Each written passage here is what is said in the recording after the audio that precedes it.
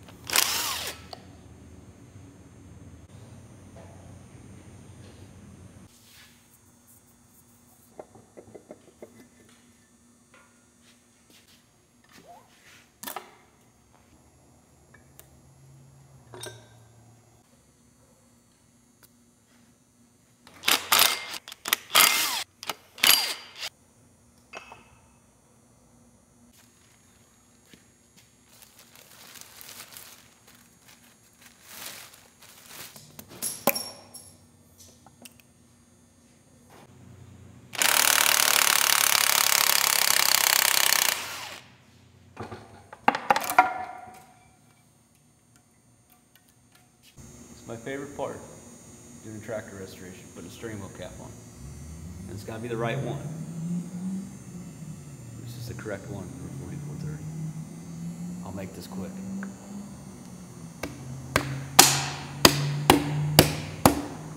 There we go. Wow. Done.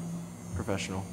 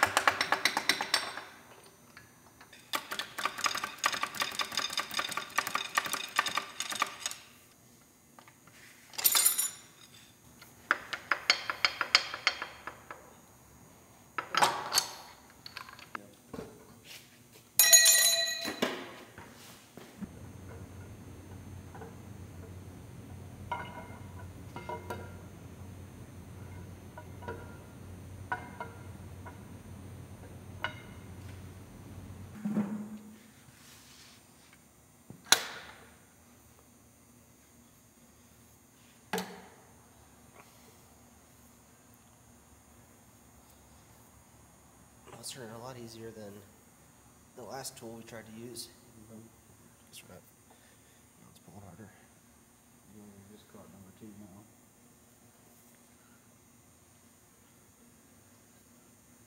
It's a pretty sweet tool though.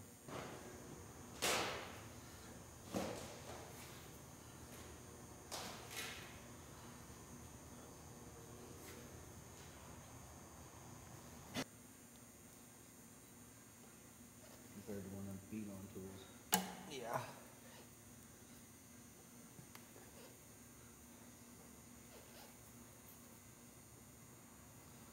Is it gonna go bang? Gets, You're about there. so we're only pulling one at a No, time. you're pulling both of them. Pulling this first one too. Mm-hmm. I put them in, I do them one at a time.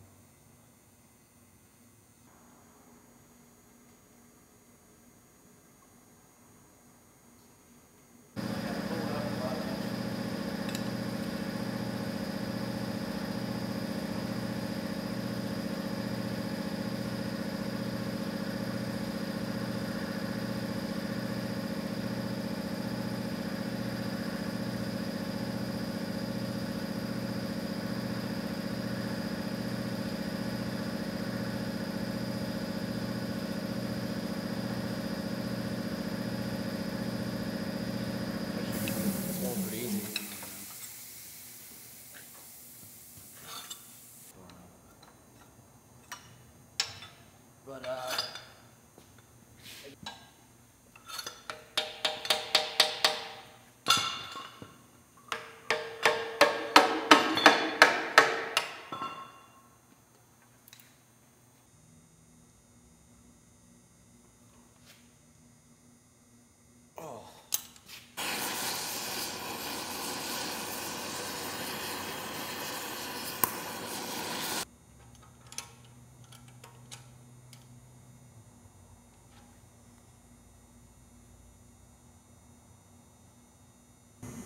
This guy right here is snapped off on the outside. I took some heat to it to try to get it out and uh, didn't want to go. So I'm not too scared about that. We can heat this back up again uh, around this here plug. Um, and then what I've done before is use the, the nut trick if you guys know that. If not, you guys are about to learn. But you just weld the nut onto here and use that nut to, to twist it out. That's the plan. Last night we pulled the liners out and we pulled um, the pistons, the rods, uh, the camshaft, camshaft bearings. Uh, so pretty much all that's left is getting these plugs out, hitting it with a pressure washer with some hot water, and then sending it off to the hot tank for those guys to work on it, uh, get it all clean, and then we'll take the head to the same place and they'll uh, redo the head, and then we should be ready for for assembly. So let's see, let's go ahead and get that plug out, and we'll keep on going. Okay, so let's go over what we're trying to accomplish here. Um, if you can see here, this is twisted off and there's nothing left to grab anymore. So we're going to go ahead and use what I call the nut trick. Um, so basically we'll take a torch and we'll heat up this outside area to loosen up any rust or anything like, like we tried to do the first time. We'll do it again for this round. The key to this is having everything ready to go. So as soon as you shut your torch off and drop it, you need to have your nut ready and a pair of uh, vice grips ready to go like that. And then we're basically going to take our welder while everything is still hot and run until, or run the welder so it welds the nut to that leftover piece in there. Um, and basically run that welder until that nut is full um, with weld. And then as it's still warm, we'll get a wrench on there and kind of work it back and forth and see if we can't get the rest of that plug out. So uh, I'll back the camera up and we'll give her a go and see if we can't get her out.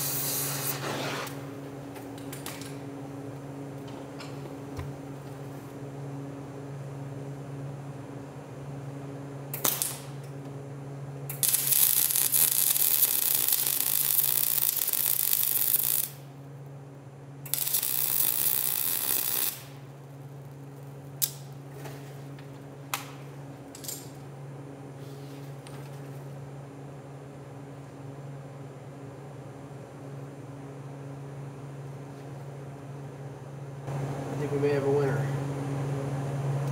Too soon. I'm not sure.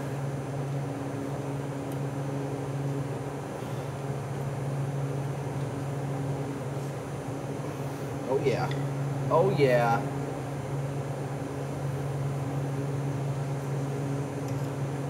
Aha.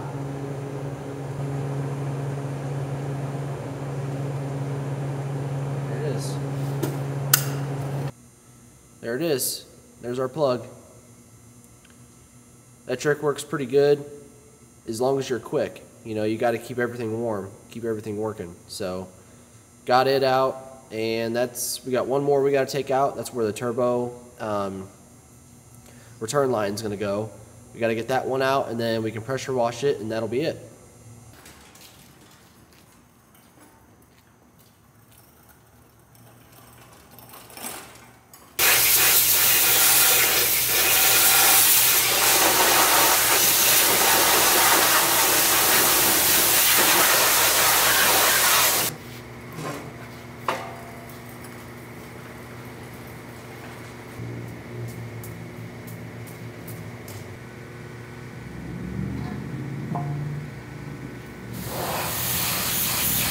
Well, one thing's for sure, and that's that it was too cold to be washing outside. But we got her done, got it good enough for it to go to the hot tank.